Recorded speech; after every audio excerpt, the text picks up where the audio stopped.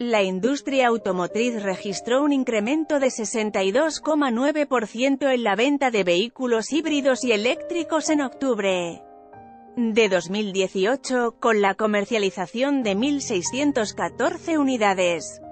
De acuerdo con las cifras recopiladas por el Instituto Nacional de Estadística y Geografía, INEGI, la venta de vehículos de energías alternativas se compusieron de 20 unidades eléctricas y 112 híbridos conectables y 1.482 híbridos. Canceló México la importación de gasolina.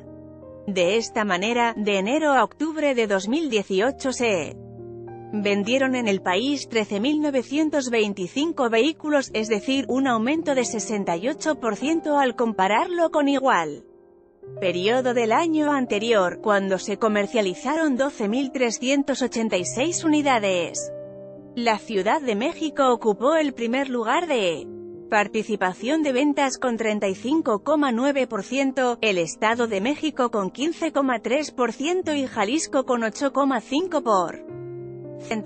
En el registro de participación, Nuevo León logró colocar en esos 10 meses 4,3% del total. Michoacán